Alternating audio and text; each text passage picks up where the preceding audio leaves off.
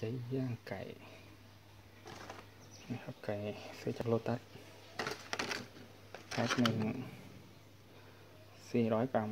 สองแพ็คก็แปดขีด ปรุงอะไรบ้าง ปรุงเกลือหนึ่งช้อนซีอิ๊วขาวหนึ่งช้อน ซอสฝาเขียวหนึ่งช้อน แล้วก็น้ำมันพืชหนึ่งช้อนอ่าน้ำมันพืชนี่ใส่เพื่อให้มัน มันฉ่ำๆหน่อยมันเวลาย่างมันจะได้ไม่แห้ง นี่ก็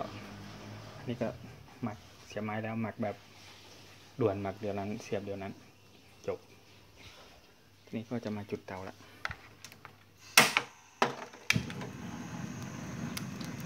จุดต้องรอยไม้ขึ้นไก่ นี่ฐานใช้คนทำฐานเองใช้แค่เปลือกพวกนี้ก็พอละ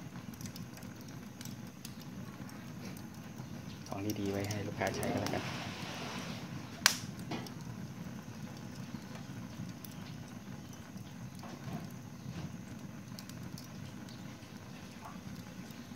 ควันเห็นขึ้นเป็นควันจากพวกมันอะไรที่ติด อันนี้นะครับก็เดี๋ยวอ่าแค่นี้พอละอาจจะติดแล้วนะฐานพวกนี้จะติ ดไวเลย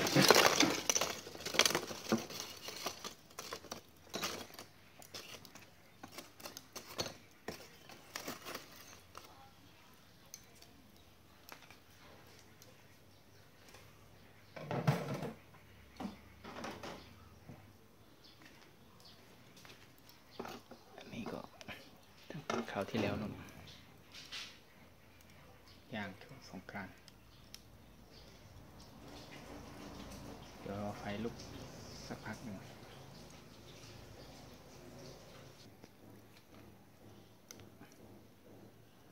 ตอนนี้ไฟก็เริ่มลุกแล้วครับ นี่คือติดแล้ว แต่ว่าด้วยความที่ตัวฐานเขาเป็นฐานที่ ไม่ไม่มีควัน เราจะดูยากนิดหนึ่ง เอาเก้าอี้ก่อนตุ๊ดๆนะครับ ดูตรงนี้นะจะเห็นว่าลุกแล้ว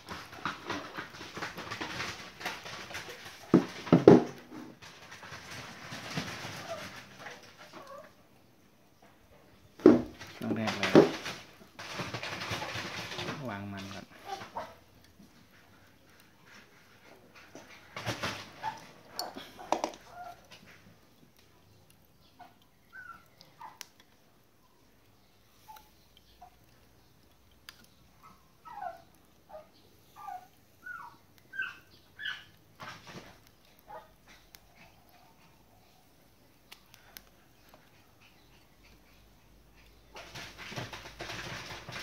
ดี วันนี้ไม่ได้ออกไปข้างนอก ปกติวันหยุดจะไปออกไปบ้านสวนแต่เช้า ไปเผาถ่าน แต่พอดีเช้าวันนี้มัน เมื่อคืนฝนมันตก ก็เลยฟืนก็ ไม่ได้คลุมไว้นะครับ มันก็เปียกหมด ก็เลยวันนี้น่าจะไม่ได้เผาถ่าน แต่เดี๋ยวบ่ายๆอาจจะออกไปทำถ่านอัดแท่ง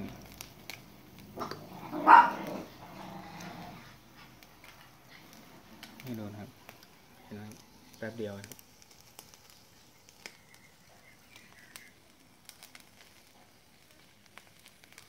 สบายใจเรื่องควัน หมายถึงควันจากถ่านนะครับ ควันที่มันแสบตาอะไรพวกนั้นมันไม่มี แต่ส่วนควันจากการมันจากอะไรหยดไปมันก็มีปกตินะครับ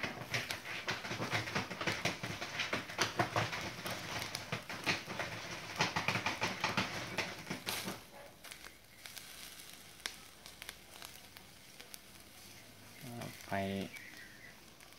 ข้างแรงเลย คลิกบ่อยๆเอาครับ เพราะว่า ก่เราชิ้นไม่หนาเห็นกริลนะครับกริลย่างบนเปลวไฟเลย เห็นไหมครับ แล้วก็การแตกสะเก็ดเขาจะบอกว่าไม่มีอะไรก็ไม่ได้มันคือมันจะแตกเป็นสะเก็ดเล็กๆเล็กๆนะครับ มันไม่แตกปะทุแบบโปปาโปปาแล้วก็กระเด็น โดน กระเด็นออกมานอกเตา โดนคนทำอาหารอยู่อะไรอย่างเงี้ย นี่คือไบโอชานะครับ กับกระบวนการผลิตแบบไพโรไลซิสก็คือการใช้ตัวแก๊สจากจากเนื้อไม้มาเป็นเชื้อเพลิงมาเป็นพลังงานในการเผาไหม้ตัวเองอีกครั้งหนึ่งในการอบนะมันก็ไม่เชิงว่าเผาไหม้ เป็นการอบตัวเองไฟแรงมากเลย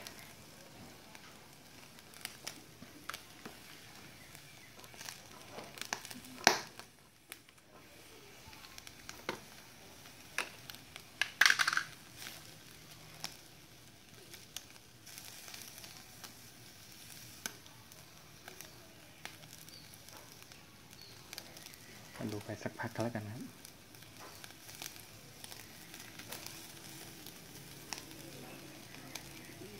เห็นไหมครับ มันเปลวไฟสะอาด แรงสม่ำเสมอนี่ไม้เป็นพวกเปลือกไม้ส่วนใหญ่ เปลือกไม้กับพวกไม้ที่ใกล้จะหมดสภาพแล้วเป็นไม้แห้งอะไรเงี้ย มันก็ยังพอเอามาทำเป็นเชื้อเพลิงได้ แล้วก็ลด ลดคาร์บอนด้วยนะครับทำจริงเตาแบบนี้ควรได้คาร์บอนเครดิตด้วยครับ การผลิตถ่านแบบนี้ และที่หลัก ๆ เลยที่สำคัญที่สุดเลยที่ผมทำทำอยู่ขณะนี้ ไอ้ไม้ที่ผมใช้เนี่ยก็คือ เป็นวัสดุเหลือทิ้ง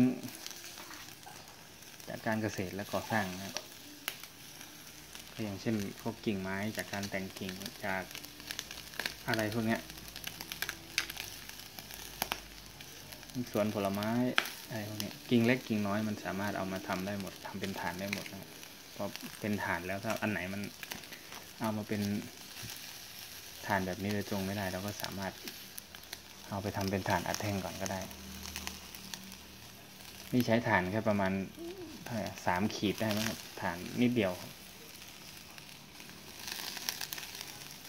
ย่างย่างไก่เกือบกิโลหนึ่งผมว่าน่าจะเสร็จอะแพงมากเดี๋ยวเอาพวก ตัวนี้ใส่เข้าไป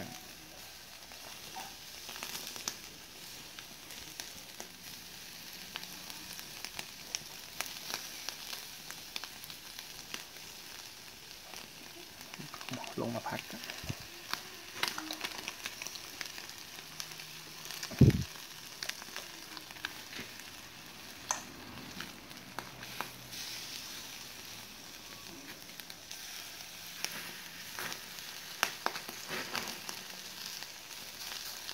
นนี้มัน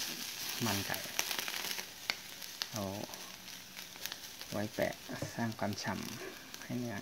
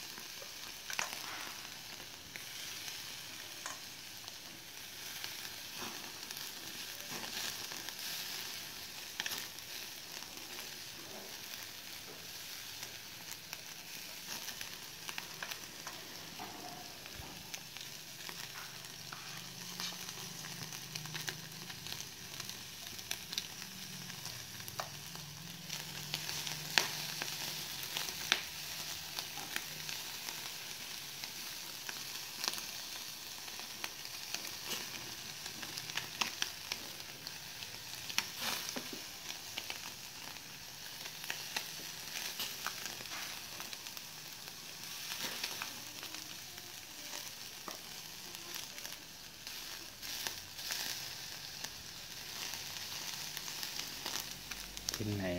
ลืมเสียบมันเข้ามาเนี่ยได้เรื่องทุกชิ้นจริงๆ